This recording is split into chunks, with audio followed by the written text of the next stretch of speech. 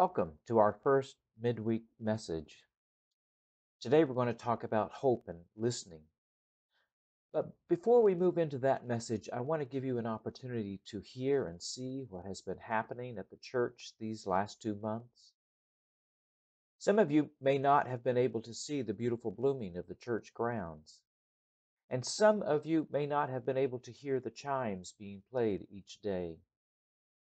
So, with the sound of the chimes, we show you some spring pictures of Country Club United Methodist Church.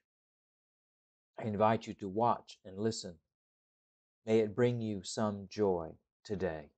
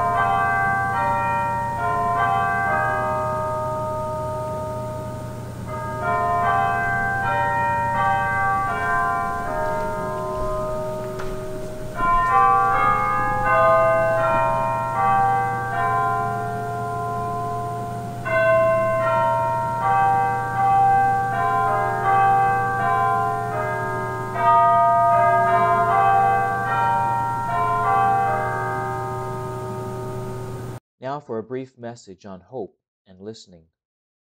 I'm going to read from you the book of Psalms, the 62nd Psalm, verses 5 through 8. For God alone my soul waits in silence, for my hope is from Him.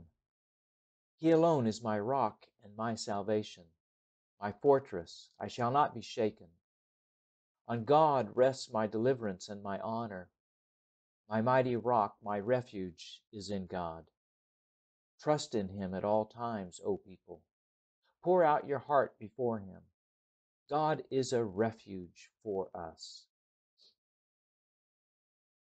What shall we as Christians say amidst the difficult and troubling times of this pandemic? How can we find hope and encouragement? The diverse voices of news and media are loud and contradictory, and confusion abounds. We are consumed by hearing anyone and everyone's opinion of what to do and how to think in the COVID 19 crisis. And yet the psalmist describes an uncommon posture. For God alone my soul waits in silence, for my hope is from Him as I listen to all the TV and radio news and all the opinions being shared, I wonder if silence is ever practiced in this generation. For many of us, silence is merely the act of not speaking. But the Desert Fathers, a collection of third century monks, indicated silence was about listening to God in our prayers, are we speaking more or listening more? What can be found in listening prayer? The psalmist indicates we can find hope and rest. The word hope in this verse means cord or rope. As we listen to God, we find God is throwing us a rope of hope to pull us into the future if we embrace slowing down and stepping into silence with God, we will grow in our confidence of tomorrow's reality and take hold of hope. Furthermore, it's not just hope we find. We find God, the source of all hope, in our silence. The pictures of the church grounds we just saw are images of new beginnings. The trees and flowers blooming are a sign of the new beginning of spring. My granddaughter's picture on her two month birthday is a sign of new beginning.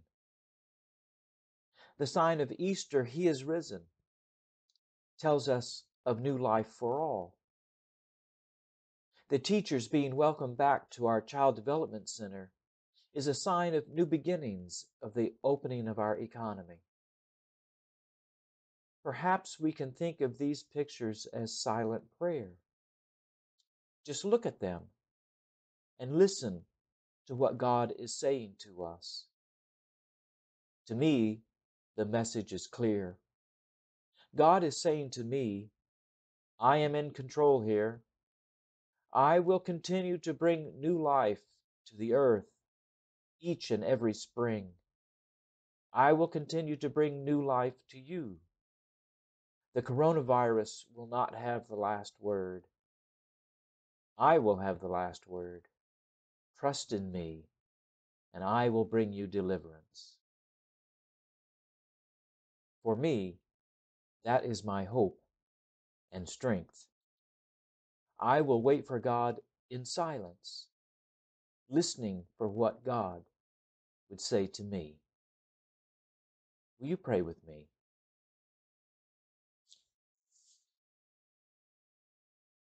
Oh God, how anxious we often get when we look at the circumstances in which we live right now. We worry about what we are to do, what we are to say, and who it is we are to listen. And we listen to the experts around us who give us great information and wisdom that we desperately need. But as we do that, help us not to stop listening to you. Let us take time each day to hear what words you offer to us, because you are the source of our deepest comfort and peace and hope. Bless us with ears that can hear your still small voice in the midst of the storm. In your redeeming name we pray. Amen. It was good to be with you today, and I just want to give you a little information about what is happening at the church. An in person worship committee has been established as we look ahead to that time when we can get back together in person, probably sometime in June. But on that committee so far is Ken Starkey, Amelia Sorensen, and Susan Fershey.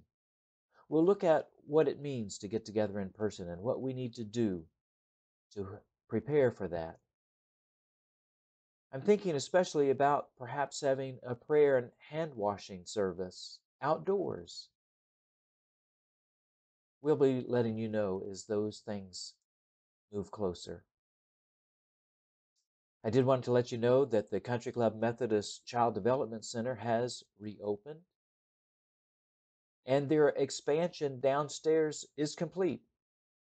Upstairs, the expansion is on schedule and should be completed by July 1. I do invite you to join us on Sunday, our worship at 1045 with a Zoom lobby chat, chat immediately following. And I hope you'll join us for this midweek message each Wednesday. If you have any other questions or need to speak with me, send me an email at Pastor Keith at countryclubumc.org. I wish for you a wonderful day.